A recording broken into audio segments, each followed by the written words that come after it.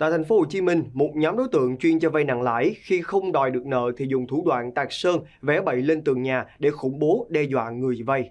Liên quan đến vụ việc, Công an quận 12 đang tạm giữ Nguyễn Văn Quân, 32 tuổi, ngụ tại Bắc Giang, Phan Ngọc Sơn, 22 tuổi, ngụ quận 12 và Hoàng Xuân Du, 18 tuổi, ngụ Bắc Cạn để điều tra về các hành vi cố ý làm hư hỏng tài sản, cưỡng đoạt tài sản và cho vay lãi nặng.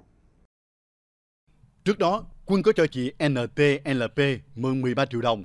Chị P đã trả được tổng số tiền lãi suất và gốc hơn 11 triệu đồng rồi không trả nữa. Sau thời gian lãi mẹ cộng lãi con, Quân tính số tiền chị P còn thiếu lên đến hơn 12 triệu đồng. Nhiều lần đến nhà đòi tiền nhưng không được, Quân viết bậy lên tường nhà chị B để uy hiếp tinh thần, buộc chị P và người thân trả nợ.